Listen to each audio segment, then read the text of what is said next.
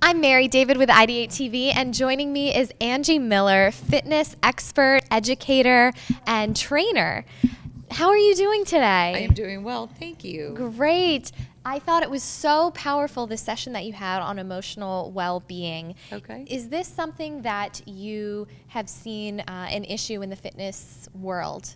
Oh, I absolutely think so. I think that in the fitness community, we are so used to emptying our bucket and giving everything we have to everyone else that we forget to take care of ourselves. It's kind of hard to give from an empty pot. So, Absolutely. For people who may be aware of the importance of emotional well being, but have people in their lives who mm-hmm. don't take as much care, what advice do you have for them?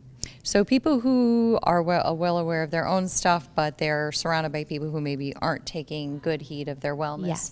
I think it's starting with small tips, just offering themselves as um, uh, offering themselves as a person to lean on or to get advice from, offering themselves as a, a person they can talk to or communicate with about their struggles, and then just letting them know that you're behind them on their journey, meeting them where they're at. We can't make people change. Mm.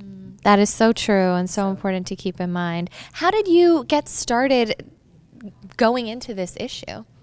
Um, I taught stress management at a university level for five years, and I used to be in uh, mental health. I was a school counselor, and then I went back and got licensed as a clinical counselor and started practicing. And so, teaching stress management to college students was what really inspired me to um, go back into mental health and blend that with fitness and wellness. Tell me about the blending of yoga and the concepts that you talked about today as far as emotional well being. Well, you know, it's interesting when I went and I taught stress management and at the university, and then I went back to uh, get licensed in mental health and to practice as a therapist. I also went back and got my 200 hours in yoga because I felt like the mind body connection. So, doing the physical uh, release, you know, fitness and wellness, I teach group fitness classes, and then also having the uh, mental health and then having yoga, which is very mindfulness based and very mind body, it has really been kind of a beautiful um, culmination of education and skills that have come together. I'm curious what your thoughts are as far as how social media has progressed and increased anxiety, what effect you're seeing that's having on people, and how management of emotions are determined by that. Mm-hmm. That's an excellent question because I think social media is an anxiety driver for a lot of people, even people who aren't normally high responders. It's very hard to keep up with social media. You feel like, especially when you own a business or you do any type of work, that you need to be on social media, but yet it feels feels so counterintuitive to what it is that you're promoting.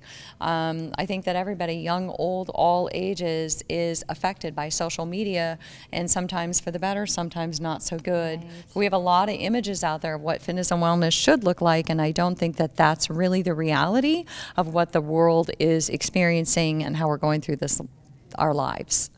Absolutely. The pressure is definitely mm-hmm. on. What are some tips that you would suggest as far as managing that or boundary setting? Mm-hmm. Boundaries are an excellent word. That's a perfect way of putting it. I think that limiting your social media time, deciding what you want to get out of social media. Why am I on there?